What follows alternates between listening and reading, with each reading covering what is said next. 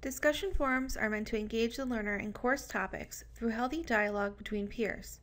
The instructor is meant to facilitate the discussion, posing challenges and providing key insights for the learner to consider. Normally, a significant part of your grade in these courses will be calculated through the participation in these forums. Always consult your individual course syllabi for more specific forum expectations as set forth by your instructor.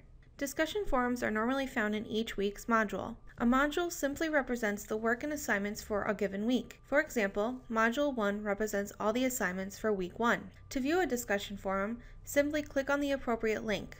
Please note that from course to course, these may be titled differently. Participating in course discussions is twofold. Your first responsibility is to post an original response to the question the instructor has presented to you. The images here represent what a discussion question may look like there can be variations between two discussion forum questions. One may simply ask your opinion on a topic, while the other may ask you to provide concrete evidence based upon research.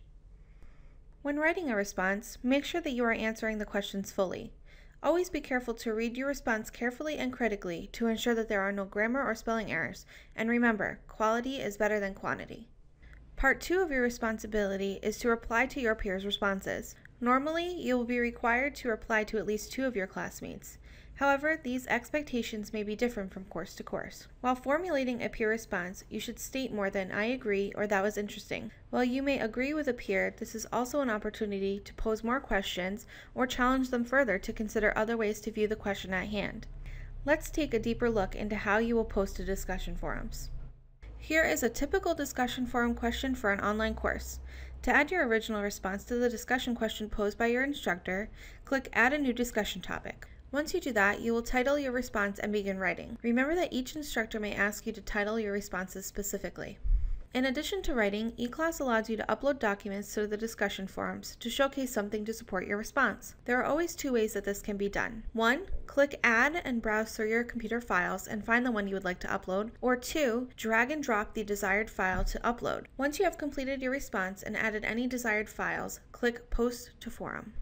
Once you have posted your response to the discussion forum, eClass will confirm that your submission has been received by showing you this message. Click Continue to return to the forum. Once you return, you will be able to see your response and any other responses that have been posted thus far. A post is noted by the title of the response, the picture and name of the person who has responded, and the number of replies their response has gotten. To read and respond to a peer, click on the title of their post. Since we are learning in an asynchronous environment, meaning that there are discussions not taking place in real time, checking in frequently to your course is vital to your success. Best practice would be to check in 5 to 7 times per week. While this may seem like a lot, remember that if you are attending class fully in person, you would be devoting at least 3 hours of in-seat time each week, not counting the time taken to complete out-of-class assignments.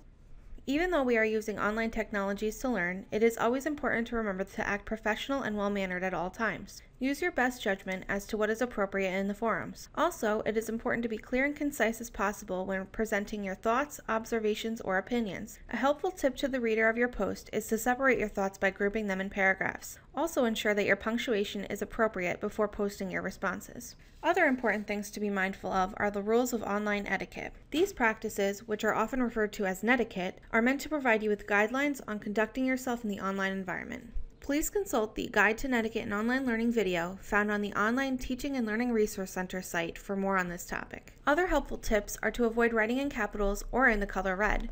These gestures, while they are meant to express emotions, are often perceived as shouting. There are other ways to express emotion or place emphasis on important points, such as italicizing or underlining your words. For more help, please feel free to contact the Office of Online Learning at onlinelearning at msmc.edu by calling 845-569-3457 or 3458 or by stopping by our office. We are open Monday through Friday, 9 to 5 p.m.